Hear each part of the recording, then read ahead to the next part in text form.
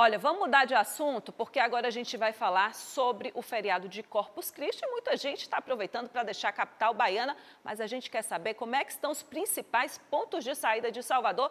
E quem vai explicar para a gente é a Daniela Mazei, que está no terminal de São Joaquim, que registrou, inclusive, um intenso movimento na tarde de ontem. Hein, Daniela? Como é que está aí a movimentação na manhã desta quinta-feira?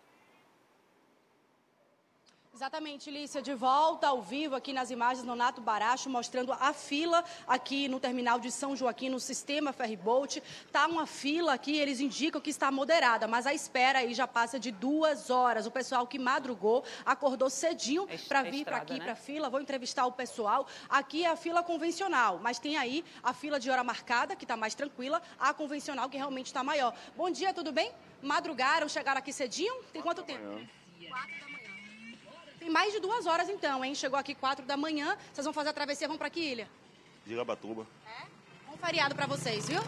É isso. Quando uma embarcação chega, a gente observa que a fila começa a andar, porque os carros começam a entrar, mas agora fila que está passando da feira de São Joaquim. Mostra aqui, Nonato, aqui a Avenida Engenheiro Oscar Pontes, na Cidade Baixa. Fila realmente grande, está passando da feira de São Joaquim. O pessoal está esperando aí por mais de duas horas. Pessoal que chegou aqui na, feira, na fila de madrugada. Deixa eu continuar conversando aqui com o povo, porque tem que ter paciência. Tem gente que está indo curtir, tem gente que está indo indo trabalhar. Meu amigo, bom dia, tudo bem?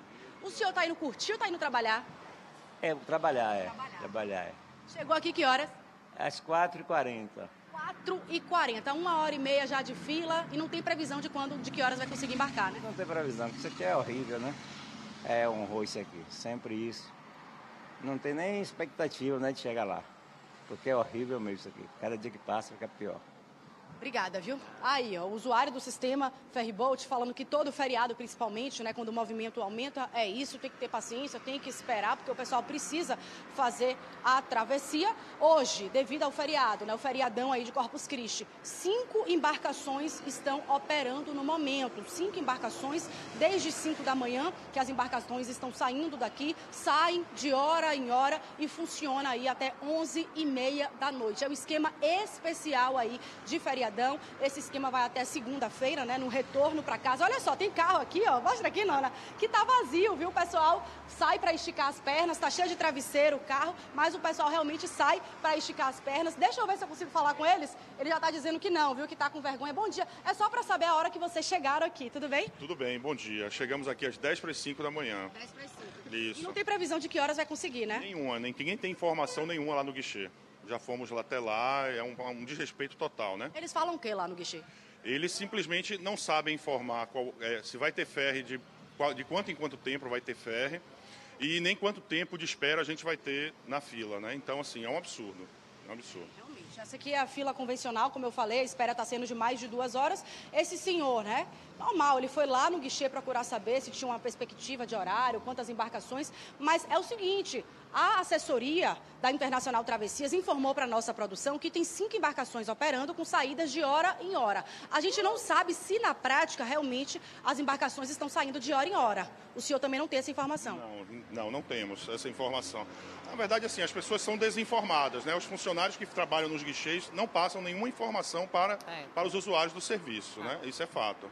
Então as pessoas estão desinformadas. E, e nós, usuários do serviço, ficamos sem essa informação a, a, a vontade do, é, é, de, de, do tamanho da fila, né? Do Sim. tamanho da fila. Então, assim, Bom, é, é muito desagradável, Cláudio. Seu Cláudio, obrigada, viu? Paciência aí, a gente vai continuar por aqui. Bom feriadão para você, para toda a família. Então é isso, o seu Cláudio está aqui reclamando ao vivo. Não sou eu que estou falando, não, viu, Internacional Travessias? É seu Cláudio cliente aqui de vocês que está reclamando aí de falta de informações dos próprios funcionários da Internacional Travessias. O pessoal merece respeito. O carro aqui está cheio. Bom dia, gente. Já está com sua aguinha aí, porque daqui a pouquinho o calor vai começar, vai, vai bater de forma mais intensa, não é isso, minha amiga? É isso. Bom dia para você. Tá indo para onde? Também.